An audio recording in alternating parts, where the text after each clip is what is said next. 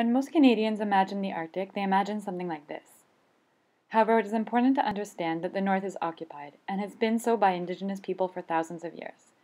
Many northern communities are increasingly concerned with the impacts of large-scale environmental changes on their ways of life. One major concern is the impact of pollution on the environment, as the Arctic has become a sink for contaminants from across the globe.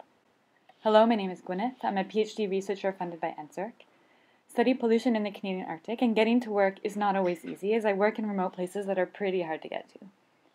But even though my field sites are far from the sources of pollution in the south, they are not pristine.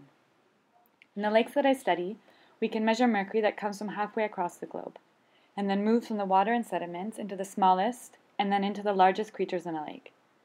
These contaminants accumulate to high levels in food webs, affecting both ecosystem and human health in the north.